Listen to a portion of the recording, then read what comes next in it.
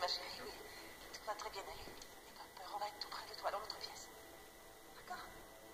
Tu vas entendre des bruits, Emily. Mais tu n'as pas à t'inquiéter. Je t'aime. Il faut que tu restes complètement immobile.